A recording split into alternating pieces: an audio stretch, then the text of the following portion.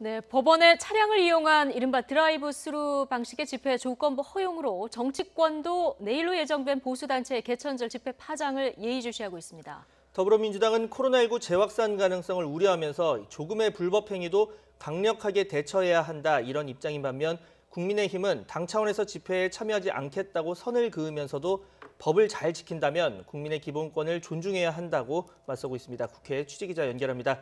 우철희 기자. 네, 국회입니다. 네, 하루 앞으로 다가온 개천절 집회 큰 틀에서는 정치권에서 모두 우려의 목소리가 크다고요. 네, 지난 광복절 보수 극우단체 집회가 코로나19 재확산의 기폭제가 됐던 만큼 여야 할 것 없이 내일 개천절 집회를 주시하고 있습니다. 여야 모두 광복절 집회와 같은 불상사가 되풀이돼서는 절대 안 된다는 것의 뜻을 함께하고 있습니다. 다만 좀 더 들여다보면 분명한 시각 차이가 나타납니다. 민주당은 일단 법원 판단대로 집회를 허용하되 아주 조금이라도 불법이나 방역 방해 행위가 있다면 무관용 원칙으로 강력하게 조치해야 한다는 입장입니다. 이낙연 대표는 오늘 집회 질서 유지를 주임으로 하는 서울지방경찰청 기동본부를 찾아서 개천절 집회 관련 견해를 밝혔습니다. 내일과 한글날 광화문 일대 집회를 어떻게 막을 것인지가 코로나19 대유행을 일선에서 차단할 수 있느냐 아니냐의 관건이 될 것이라고 말했습니다. 또 내일 집회를 많은 국민들이 걱정하고 있다면서 합법이 아닌 어떤 집회나 행위도 허용해, 허용돼서는 안 된다고 강조했습니다. 특히 완벽하게 불법 행위를 차단해서 국민들에게 안정감을 줬으면 좋겠다면서 공권력이 살아있다는 것을 이번에는 확신시켜달라고 주문했습니다.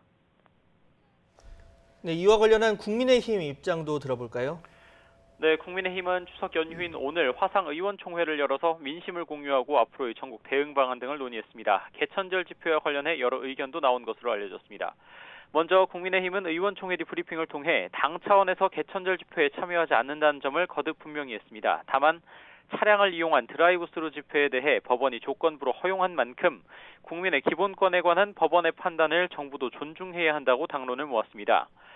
주호영 원내대표도 YTN과의 통화에서 개천절 집회를 옹호하지 않는다면서도 집회는 헌법이 보장하는 국민의 권리이기 때문에 법을 잘 지키고 방역에 지장이 없다면 막을 근거도 없고 막아서도 안 된다고 분명히 했습니다.